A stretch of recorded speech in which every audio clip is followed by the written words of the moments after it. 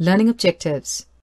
At the end of this topic, you will be able to explain air pollution, discuss the sources of air pollutants, examine the harmful effects of air pollutants, develop an understanding of greenhouse effect and global warming, predict the meaning of water pollution, and list the factors responsible for water pollution.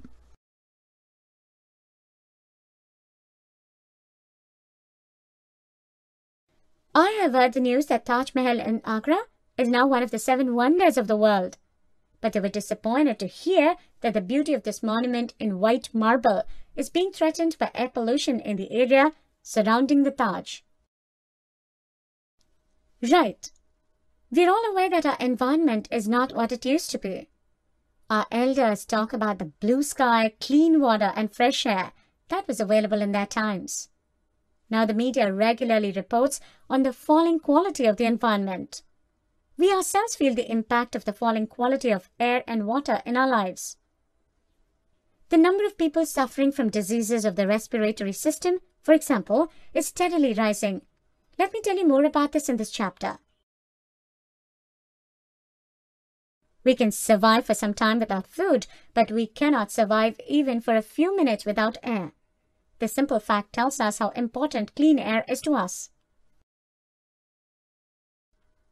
We know that air consists of a mixture of gases. By volume, about 78% of this mixture is nitrogen and about 21% is oxygen. Carbon dioxide, argon, methane, ozone, and water vapor are also present in very small quantities. When air is contaminated by unwanted substances which have a harmful effect on both the living and the non-living, it's referred to as air pollution. The substances which contaminate the air are called air pollutants. Sometimes such substances may come from natural sources like smoke and dust arising from forest fires or volcanic eruptions. Pollutants are also added to the atmosphere by certain human activities. The sources of air pollutants are factories, power plants, automobile exhausts and burning of firewood and dung cakes. Many respiratory problems are caused by air pollution. Vehicles produce high levels of pollutants like carbon monoxide, carbon dioxide, nitrogen oxides, and smoke. Carbon monoxide is produced from incomplete burning of fuels such as petrol and diesel. It's a poisonous gas. It reduces the oxygen carrying capacity of the blood. Fog-like layer in the atmosphere is present during winters. This is smog, which is made up of smoke and fog. Smoke may contain oxides of nitrogen which combine with other air pollutants and fog to form smog. The smog causes breathing difficulties such as asthma, cough, and wheezing in children. Many industries are also responsible for causing air pollution. Petroleum refineries are a major source of gaseous pollutants like sulfur dioxide and nitrogen dioxide. Sulfur dioxide is produced by combustion of fuels like coal in power plants. It can cause respiratory problems, including permanent lung damage. Other kinds of pollutants are chlorofluorocarbons, CFCs, which are used in refrigerators, air conditioners, and aerosol sprays. CFCs damage the ozone layer of the atmosphere. In addition to the above-mentioned gases, Automobiles which burn diesel and petrol also produce tiny particles which remain suspended in air for long periods. They reduce visibility. When inhaled, they cause diseases. Such particles are also produced during industrial processes like steel making and mining. Power plants give out tiny ash particles which also pollute the atmosphere. Over the past two decades, India's most famous tourist attraction, Taj Mahal, located in Agra, has become a matter of concern. Experts have warned that pollutants in the air are discoloring its white marble. So it is not only living organisms that get affected by polluted air, but non-living things like buildings, monuments, and statues also get affected. The industries located in and around Agra like rubber processing, automobile, chemicals, and especially the Mathura oil refinery have been responsible for producing pollutants like sulfur dioxide and nitrogen dioxide. These gases react with water vapor present in the atmosphere to form sulfuric acid and nitric acid. The acids drop down with rain, making the rain acidic. This is called the acid rain. Acid rain corrodes the marble of the monument. The phenomenon is also called marble cancer. Suspended particulate matter, such as the soot particles emitted by the Mathura oil refinery, have contributed towards the yellowing of the marble. The Supreme Court has taken several steps to save the Taj. It has ordered industries to switch to cleaner fuels like CNG, compressed natural gas, and LPG, liquefied petroleum gas. Moreover, the automobile should switch over to unleaded petrol in the Taj zone. We know that sun's rays warm the Earth's surface. A part of the radiation that falls on the Earth is absorbed by it, and a part is reflected back into space. A part of the reflected radiation is trapped by the atmosphere. The trapped radiations further warm the Earth. The trapped heat warms the greenhouse. The trapping of radiations by the Earth is atmosphere. The trapping of radiations by the Earth's atmosphere is similar. That's why it's called the greenhouse effect. Without this process, life would not have been possible on Earth. But now it threatens life.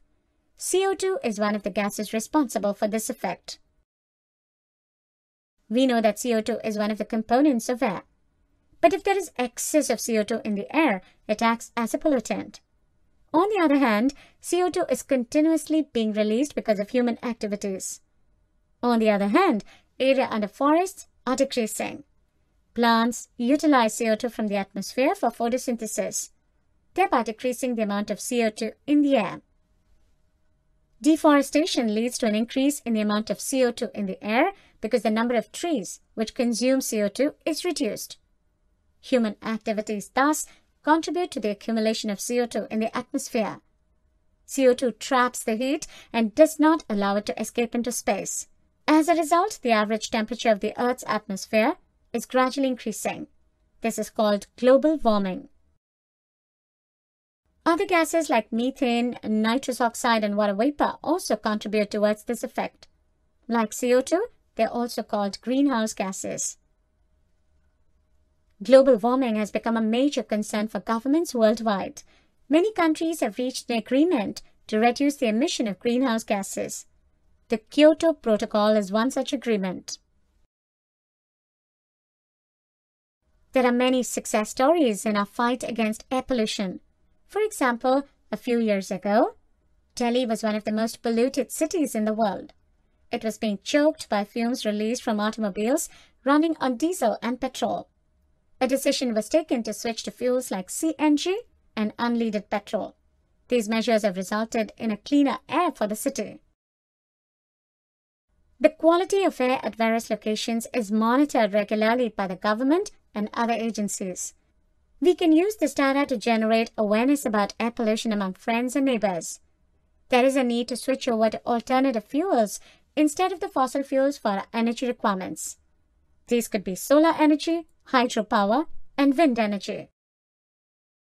Small contributions on our part can make a huge difference in the state of the environment. We can plant trees and nurture the ones already present in the neighborhood.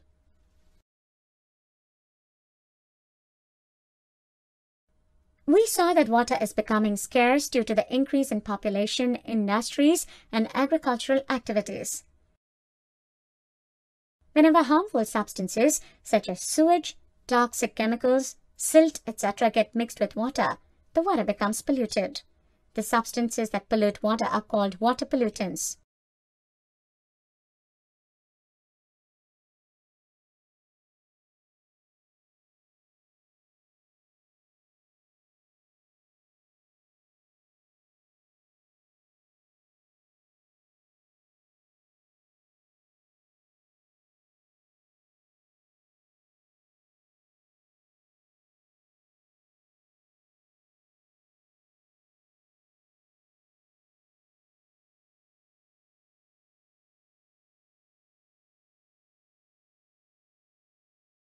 Let's go through the case study of Ganga to have better understanding.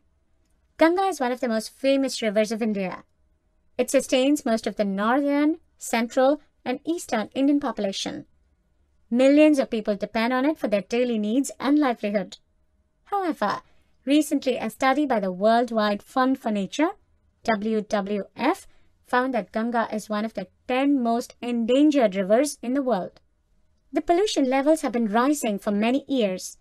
We have reached this stage because the towns and cities through which the river flows throw large quantities of garbage, untreated sewage, dead bodies, and many other harmful things directly into the river. An ambitious plan to save the river, called the Ganga Action Plan, was launched in 1985. It aimed to reduce the pollution levels in the river. However, the increasing population and industrialization have already damaged this mighty river beyond repair. Let us take a specific example to understand the situation. The Ganga at Kanpur in Uttar Pradesh, UP, has one of the most polluted stretches of the river. Kanpur is one of the most populated towns in UP. People can be seen bathing, washing clothes, and defecating in the river. They also throw garbage, flowers, idols of gods and goddesses, and non-biodegradable polythene bags into the river. At Kanpur, the amount of water is comparatively small, and the flow of river is very slow. In addition, Kanpur has more than 5,000 industries. These include fertilizer, detergent, leather, and paint industries. These industrial units discharge toxic chemical waste into the river. Many industries discharge harmful chemicals into the rivers and streams, causing the pollution of water. Examples are oil refineries, paper factories, textile and sugar mills, and chemical factories. These industries cause chemical contamination of water. Water which is suitable for drinking is called potable water. We have seen how various physical and chemical processes in the sewage treatment plants help to clean water before discharging it into water bodies. Similarly, municipal bodies treat the water before supplying it to households.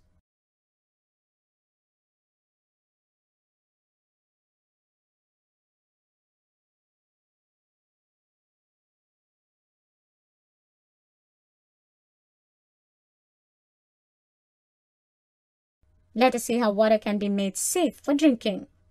We've already seen how water is filtered. This is a physical method of removing impurities. A popular household filter is a candle-type filter.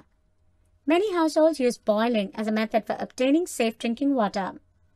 Boiling kills the germs present in the water. Chlorination is a commonly used chemical method for purifying water. It is done by adding chlorine tablets or bleaching powder to the water. We must be cautious. We should not use more chlorine tablets than specified. Laws for industrial units should be strictly implemented so that polluted water is not disposed of directly into rivers and lakes. Water treatment plants should be installed in all industrial areas. Water treatment plants should be installed in all industrial areas. At our individual levels, we should consciously save water and not waste it. Creative ideas like reusing water can be used for washing and for other household tasks. For example, Water used for washing vegetables may be used to water plants in the garden. Pollution is no longer a distant phenomenon. It is affecting the quality of our daily lives. Unless we realize our responsibility and start using environment-friendly processes, the very survival of our planet is in danger. Summary Let's summarize the topic. We cannot stay alive even for a few minutes without air. Many industries are also accountable for causing air pollution. Automobiles burn diesel and petrol, generate tiny particles which remain floating in air for a long period. There is a need to switch over to alternative fuels instead of fossil fuels.